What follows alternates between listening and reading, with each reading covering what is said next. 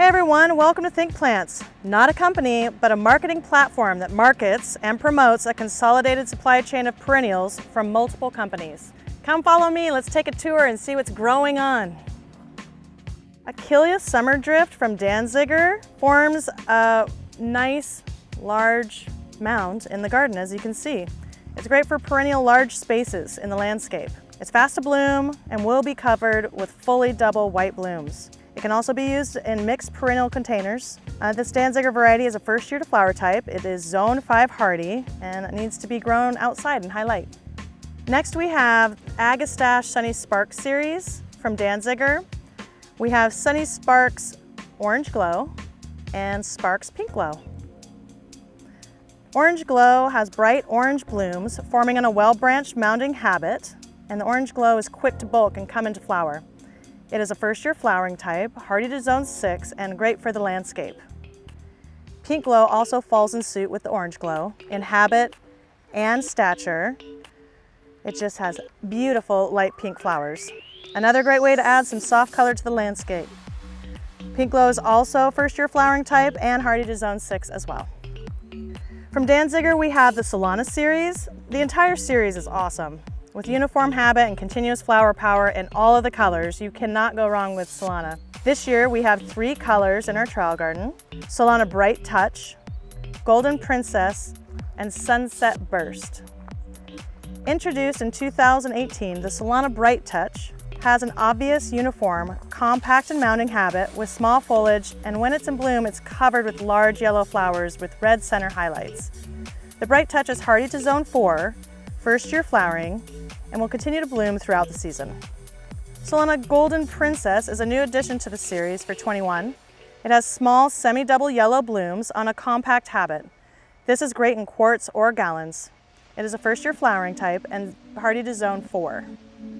As you can see, Solana Sunset Burst is a little bit later to flower than the other two varieties.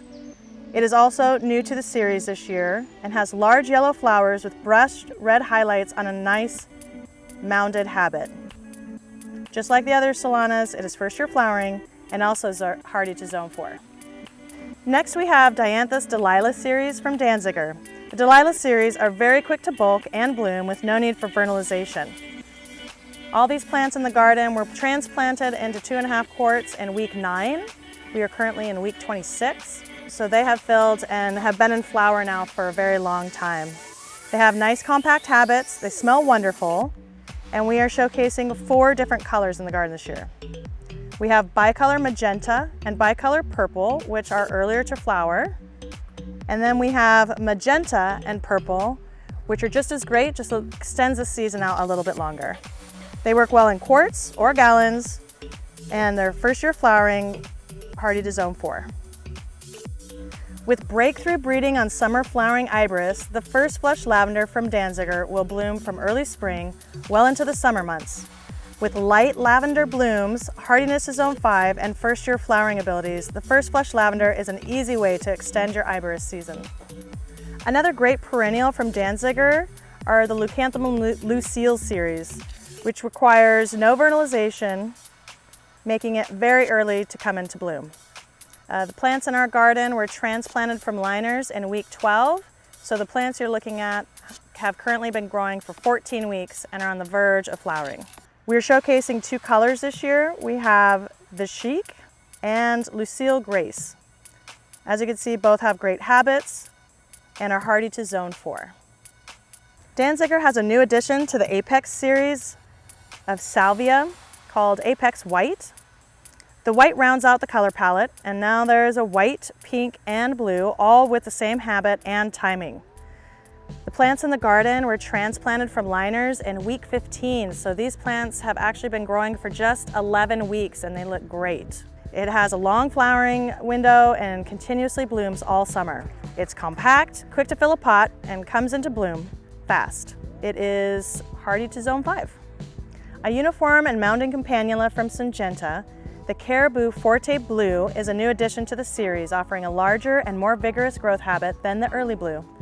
The Forte Blue has large, rich, blue star-shaped flowers that bloom early, giving it a quick production time, a long retail shelf life, and is hardy to zone 4. From Syngenta, the Campanula Spring Bell 2.0 Dark Blue is a new color addition to the Spring Bell 2.0 series. With the addition of the dark blue, the series now has three colors, dark blue, blue, and white. It has a nice compact habit, it's a heavy bloomer, and it's hardy to zone 5. This works great in both quarts and gallons. A new addition to the Western Star series from Syngenta is the Gemini. It has compact habit and yellow buds that will transition to white blooms, which is really cool. They have ch low chill requirements and are zone 4 hardy.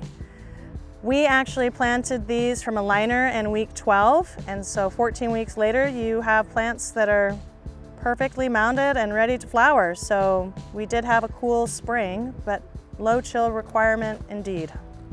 Next we have the Day Series from Unix. It's a new Astilbe bred for containers and high flower count that blooms in the late spring. Today we are showcasing Lucky Day that has rich dark pink blooms,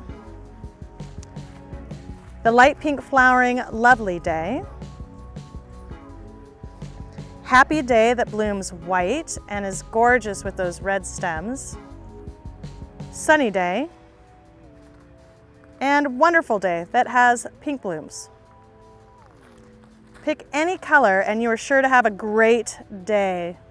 They are zone 3 hardy and great in gallons.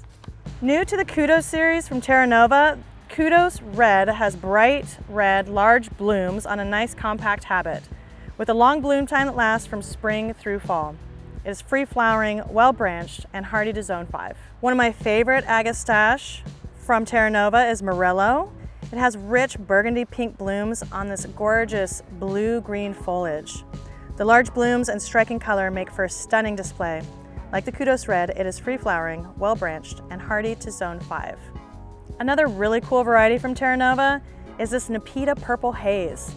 It is a mat forming type with silver foliage and spikes of purple blue flowers that cover the entire plant. It's long blooming and wild, and also hardy to zone 6. This could potentially make a very interesting hanging basket, definitely amazing planter, and more suitable for one and a half gallon pots.